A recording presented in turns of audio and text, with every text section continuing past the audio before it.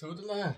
Servus zu dem Livestream, der weil dank unserem guten Mobilfunknetz natürlich kein Livestream ist, aber ich habe einiges ihn. Jetzt kannst theoretisch einen Trakt zusammenbauen. Dann können sie nämlich dort und die Wäsche wieder raus da, ne?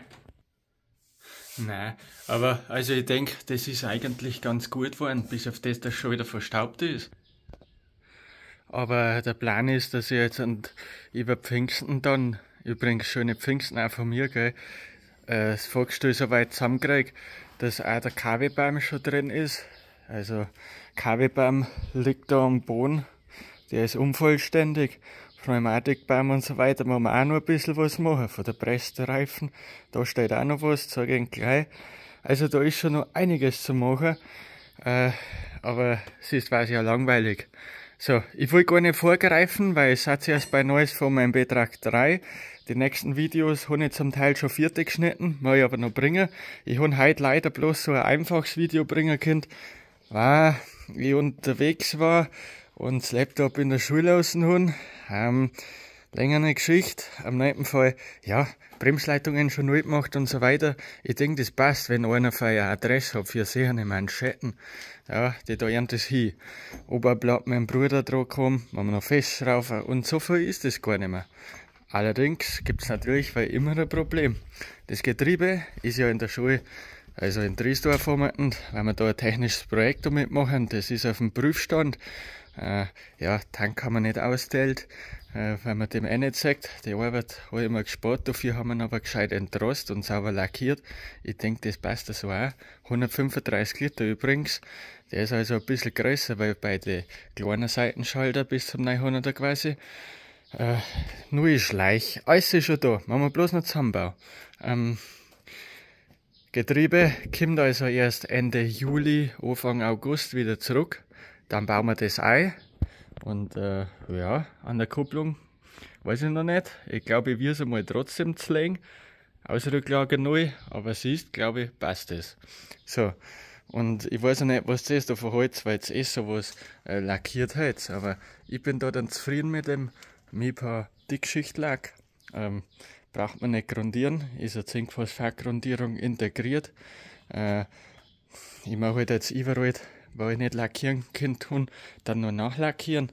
Aber der steht jetzt schon, ich glaube, zwei Wochen und der Lack ist inzwischen also echt super geworden. Das ich sagen. So, gut. Dann hoffen wir, dass die Achsen gut sind. Achsschenkelreparatur wird der große Teil äh, in den kommenden Videos werden, weil der Achsschenkel unten war so kaputt, der hat mich richtig auf Trab gehalten. Aber jetzt passt wieder alles. Motor ist vierte überholt. Auch da will ich gar nicht vorgreifen. Da schimpft es mir bestimmt eh noch. Genau. Das ihr dann. Einspritzpumpen, alles ist schon dran. Passt. Kabine ist auch schon wieder da. Äh, ja, und dahinter ist mein neuer Wender. Den muss ich jetzt auch schnell zeigen. Kabine ist da, aber da müssen wir einen ganzen Kabelbaum noch neu machen.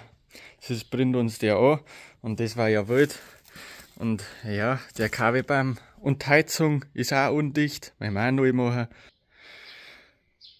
Also der Plan ist am neuen Fall, dass wir da jetzt irgendwann im Sommer, Herbst sowas vierte werden. Zum Maiselieren werden wir noch nicht hernehmen können.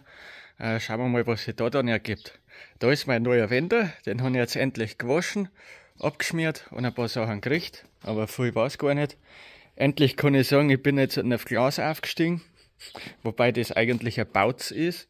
Also der kommt noch aus Saulgau und äh, mir gefällt der einfach mit der Farbkombination und der, der Bauweise, das passt optimal zum Viereifer. Da schauen wir jetzt auch gleich hin. Ja, und da hinten habe ich ein neues Projekt gekauft, weil heißt immer, ja, die halten doch keine 300.000. Da habe ich einfach mal mit über 300.000 gekauft. Na, Front schon. Jetzt kann ich meinen verkaufen. Der war natürlich sau billig, sage ich mal. Also kann ich mir wieder eine Maschine für einen ohne kaufen dann. und das war kein Abstieg. Dann wollte ich aber noch was zeigen, was da im Stroh drin liegt, so halbert. Ich wollte doch eigentlich einen Turbo draufbauen. Jetzt habe ich mir gedacht, ja, ja, Turbo-Umbau heben wir uns für später auf. Ähm, machen wir erst einmal so. Der hat nämlich auch einen schönen, schönen röhrigen Sound. Und da liegt noch eine lackierte Tier. Ihr seht schon, das ist die, die weil mir nicht so gut gelungen ist. Die weil halt total hin war. Aber man sagt nicht, dass da unten was eingeschweißt worden ist. Denke ich mal. Das ist eigentlich recht schön geworden, bis auf das in der Mitte. Da bin ich dran, weil es da jetzt eine Nachfertigung gibt, ähm, dass man da dann sich eine Türhaut aufzwingt und dran schweißt. Schauen wir mal, ob das hinhaut. Wenn's Fragen hat, dann schreibt es in die Kommentare. Wir schauen jetzt nur schnell da rein, weil irgendwas zeigen wir und dann gehen wir zum Mock. Aufstiege, auch schon vierte. Geil da vorne ist ein neues gekommen. Man gönnt sich ja sonst nichts. Ja. Aber da haben wir jetzt einen Hydraulikkasten quasi. Ich weiß nicht, mache ich jetzt das zu oder lau ich das drin? Das ist wahrscheinlich eine Schweizer Nachrüstung. Gehört ja auch irgendwo zu der Geschichte von den Truck. Und so schlecht ist der vom Lack her noch gar nicht. Originale Aufkleber noch drauf. Wenn ich jetzt das so schweiß, mal den kompletten Deckel neu lackieren. Hm. Leck, das muss ich da noch lackieren, aber jetzt gehen wir zum Mock. Ja, den habe ich da weit hingestellt, dass ich mit der Presse schon absprechen kann, weil wir heuer anfangen. Mag ich immer noch abschmieren, aber zumindest bin ich schon am neuen Reifen dran, weil mit dem porösen Drum fahre ich nicht umeinander. So als Oberlohner, ne? Ja, und dann schauen wir mal, dass wir heuer ein paar mehr Ballen pressen. Aber bis jetzt läuft die wunderbar. Äh, ich denke mal, da kann man echt froh drum sein. Gut, ja, die Pfegel nicht so drauf da unten, ne? So, also mit dem Mock war ja letztens beim Ackern, das läuft super. Es hat schon gesehen, ey, ist erst Öldrucklampen angegangen. Weil lasse immer mit dem Anlasser ein bisschen da, bis der Öldruck da ist. Das dauert nicht lang, zwei, drei Sekunden. Vor allem, wenn er halt zwei Wochen gestanden ist, denke ich mal, ist das gut. Und danke an den Tipp. Ich habe jetzt da eine 4 Watt Lampe rein da. Bislang da ist er, äh, dass die Lichtmaschine erregt wird und ich brauche keinen Gasstoß, dass die ausgeht, die Lampen. Top. Also da kein 2 Watt, sondern eine 4 Watt eine. Super. Standgas neu eingestellt. So lassen wir aber natürlich nicht laufen, weil da ist der Öldruck einfach weg, aber hört sich nicht schlecht an. Naja. Und da dann Sitzbezüge, die waren, die haben da fast nichts gekostet, dann habe ich es halt mitnehmen müssen. Und ist natürlich schon mal besser, weil das vorher. Und jetzt geht's auf zum Pfingstfest Hetzenbach. Da ist halt Oldtimer-Treffen. Äh, kommt vorbei, schaut sich Mob an, bringt das Fahrzeug mit. Dann kriegt es halt so viel, habe ich gehört. Ähm, deswegen können wir jetzt auch nicht ewig schmatzen. Weil wir ab, ich darf da einweisen. Ich habe jetzt noch einen Rühm vom Kombipresse dran lassen. Falls sie jemand festfährt, haben wir Sperre.